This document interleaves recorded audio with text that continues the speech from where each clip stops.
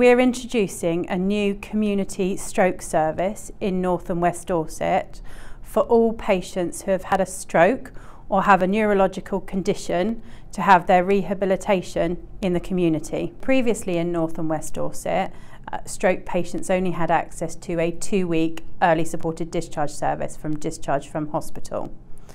And this was only for a percentage of patients that met the criteria the new stroke community service that's being introduced will meet three criteria.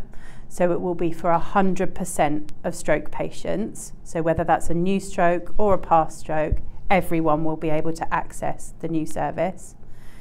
It will, it will be provided by specialist stroke trained practitioners. So rather than previously them being seen in generalist teams, it will be with specialist knowledge and specialist skills that, that, that all patients with a stroke will get.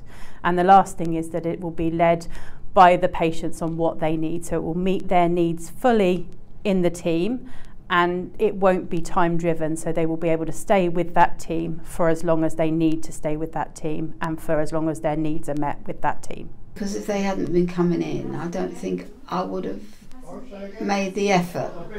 I would have tried but the fact that you know that next time they come, they expect, hope you do, you're going to be a little bit further on because you've done the exercises. And of course, my husband sees what they're doing and he gets told what he's got to do. So, yeah, it's definitely made a difference. You can't do it on your own.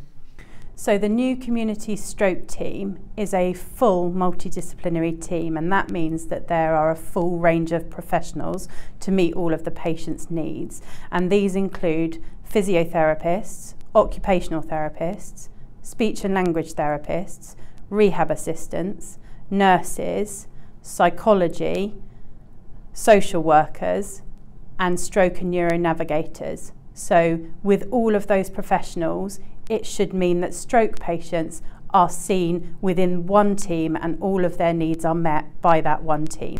East Dorset have had a service for early supported discharge for six weeks already running and a community team that had specialist practitioners. So this new service is to align North and West Dorset with East Dorset.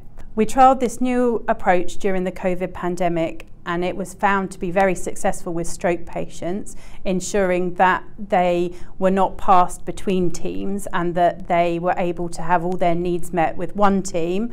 And it really enabled their recovery to be more supported and enabled, and they were able to become independent or achieve their goals more easily through this one service.